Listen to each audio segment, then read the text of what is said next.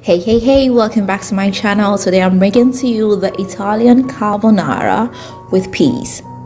So this is basically a little twist to the original Italian carbonara. Without wasting time let's just get started. First of all I'll put some water on fire for the spaghetti. I'll drop in some salt. After it boils I'll drop in my spaghetti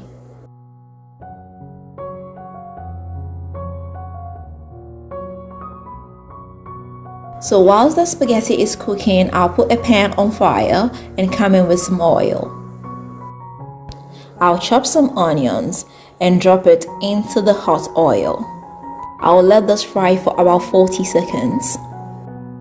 Then I have my bacon over here. I'll chop it into smaller pieces. Now I must say the amount of bacon you use depends on your taste. If you want more, just add more and if you want less, just use less. I'll add the bacon into the frying onion and let this cook. We'll be doing this on low to medium fire. So I'll let this fry for about 2 to 3 minutes till the bacon has been fried very well.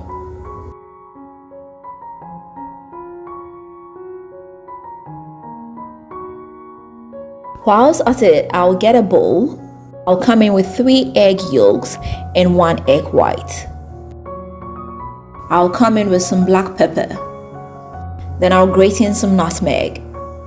I'll add a little bit of salt to taste. And with the help of a fork, I'll whip it up.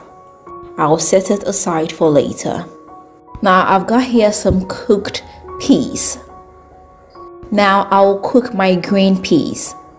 It takes about, you know, just two to three minutes. You don't need to overcook it. Then I'll set it aside for later.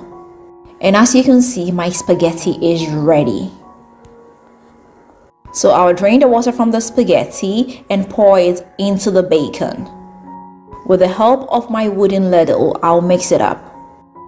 Now I'll come in with my green peas. Don't forget the fire is off whilst we're doing this. I'll come in with my egg mixture. And whilst pouring my egg mixture into it, I'll be stirring it up in a circular motion. The steam from the spaghetti is going to kind of cook the egg a little bit. You don't need to overcook this. If you overcook it, you have failed. Why the fire will have to be off whilst you're doing this. And of course, I will come in with a little bit of parmesan. And ladies and gentlemen, our Italian carbonara with green peas is ready. This is so so delicious. You definitely need to give this a try. If you do, let me know how it comes out for you. You can send me pictures if you want to.